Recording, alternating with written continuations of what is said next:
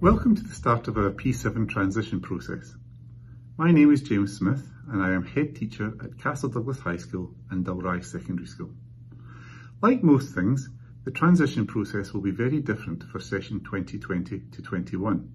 However, one thing that will not have changed is that P7 pupils and their parents will still be anxious, nervous and excited about moving from the primary to the secondary school. The young people have had seven years to become comfortable and confident in their primary schools and now face the excitement of joining the big school. For some parents, the transition from P7 to secondary will be old hat as you have older children who have gone through this experience with you in the past. However, for many others, this will be the first time that you have been the parent of a precious bundle who will soon be a secondary school pupil. For all of the P7 pupils, this will be the first time that they have made the transition to secondary school, so they will be very excited. We are not able to meet you in person due to the current COVID restrictions, but it is still very important that we begin the transition process with you so that you and your child are fully equipped and ready to make the move to the high school and make that move as successful as possible. Remember, this transition is for parents too, as you have been involved with the life of your child's primary school, supporting your child's learning, supporting school events, and taking part in opportunities to help make the school a better place for your child. We want you to feel just as welcome at the high school and for you to feel that you can continue to be fully involved with your child's education and the improvement journey of the school. The rest of this presentation will go on to start to provide you with the type of information that will help you and your child to feel much more confident about joining us here at Castle Douglas High School next session. My name is Alison Cook and I am one of the Deputy Head Teachers at Castle Douglas High School. I have responsibility for S1 as a year group and the P7 S1 transition programme. We are having to do things a little bit differently this session due to COVID-19 and unfortunately this means that you as a parent group are unable to visit the school so I will do my best to communicate with you throughout the remainder of the session regarding transition arrangements for your child. There's a leaflet to go with this presentation which will be distributed through the primary schools. The main aims of this presentation are to share with you the transition calendar and how we go about gathering information on your child to ensure their transition to Castle Douglas High School is as smooth as possible. We have some video clips of our new S1 pupils who would like to share their experience of transition with you and tell you about how they are settling into S1 at CDHS. I will explain how our team of pupil support staff will get to know your child and how they will look after them throughout their time at Castle Douglas High School and to finish, we have a video showing our S1 in a range of classes to give you an idea of what the school looks like and the kind of activities your child will take part in. My email address is on the information leaflet and if you would like to get in touch with me if you have any further questions, please do not hesitate to do so. Usually we would visit the primaries to meet the P7 pupils in person, but this year all of our visits have to be virtual. So we're using Microsoft Teams to visit the P7s, which means we can still do our presentations and have our usual question and answer sessions with the pupils. The aim of our first visit is for the pupil support team to introduce themselves and to explain their role in looking after the pupils when they come to the high school. The P7 pupils then get to share anything they are looking forward to about the high school and to ask any questions about anything that they're worried about.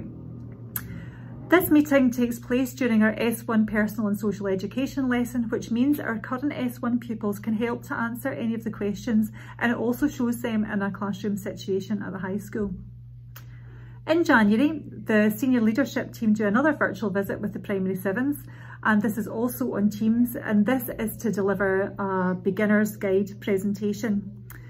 This gives the pupils information about how the school runs, tells them about who the key staff are in the school that will look after them when they come, how the canteen works, what the school uniform is, a typical S1 timetable and lots lots more also gives the pupils yet another opportunity to ask any questions that they, they may have about the high school. Our Gateway evenings are usually held in our associated primary schools, but this year the presentation will be posted on the website and the address for that is on the, the information leaflet. This gives parents and carers information about communication with the high school and about the S1 to S3 curriculum. In May, we have another virtual visit called Moving On Up, where we do some final preparations for the virtual induction days. The Moving On Up booklet is issued to the P7s and this gives them yet more information about S1 as well as a map of the school. We had three virtual transition days last June where staff at the high school put up some fun activities and tasks for the primary sevens to complete. This gives the pupils a taster of the kind of lessons that they will take part in during S1 and the primary seven team has already been set up for this session coming and information will be shared on the team throughout the session.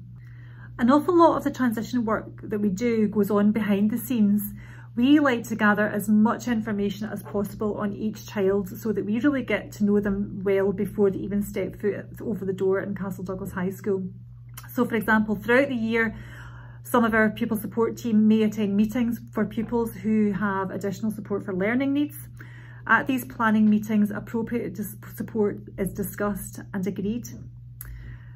We have an enhanced and supported transition programme for pupils that might require a wee bit of additional support with their transition. Um, pupils requiring this kind of support are identified by primary staff quite early on in the session and a planned programme of visits is arranged for them to visit Castle Douglas High School and to help them become familiar with the building, the staff and the pupils. When it comes to gathering information, we like to find everything out about each child. Discussions take place with the primary seven teachers about learning, about behaviour, friendships, hobbies, talents and interests. We also discuss pupils who are best placed to go to be placed with each other in class groups and who we might need to avoid. If any agencies have been involved in supporting the young person, that information is also shared with us and the reason for the intervention. The Primary 7 profiles and the SNSA data are looked at by secondary staff to help them get to know the pupils and to help them set work at an appropriate level. All of this confidential information is shared with our staff at Castle Douglas High School and it's used by all the teachers to support the pupils with their learning and to meet any social, emotional and behavioural needs. Medical information is also collated and shared with all staff. In May, our S1 register and practical classes are made up. The, we do have criteria that we use, but the criteria is flexible. Um, and these class lists are shared with the primary seven pupils. Last year we shared the, the class list via the, the P7 team and it looks like we'll have to do the same again this year. Once I share the class list with you, if you have any concerns about the, the class that your, your child is in, please don't hesitate to get in touch with me and we can always do some, some reshuffling. This is slide five. Our team of junior leaders will support the new S1s when they come to Castle Douglas High School. They will look out for them at break times and lunch times and for the first few days the, the junior leaders will take S1 from class to class to make sure no one gets lost. The primary 7 team helped me move up to high school and it and the teachers gave us um, weekly challenges to do um, across the um, lockdown period and it gave us something else to do um, rather than our schoolwork and it helped me um, get ready for high school. My favourite classes at Castle Douglas High School are Home Economics, PE, IT, Science, Geography, History and Music.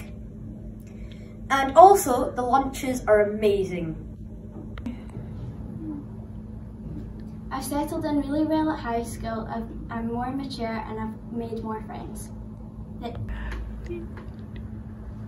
My advice to the primary sevens is to not worry about getting lost. My advice to the primary sevens is don't worry, high school's great fun. The teachers are very nice and the lessons are very interesting.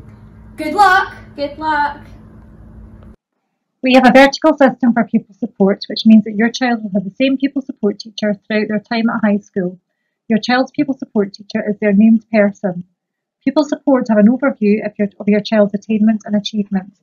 Progress in subject areas will be monitored closely through regular tracking conversations in PSE. Pupil support staff will support your child with pastoral issues and may liaise with partner agencies to do this. You can contact your child's pupil support teacher at any time if you have any concerns of a pastoral nature or if you would like a general update on your child's progress. You may be aware that there are building works going on at Castle Douglas High School at the moment to make some improvements to the learning environment for our pupils. Here are some photographs of some newly refurbished classrooms and some photographs of some of our S1 pupils in class. I look forward to meeting you very soon and thank you very much for watching.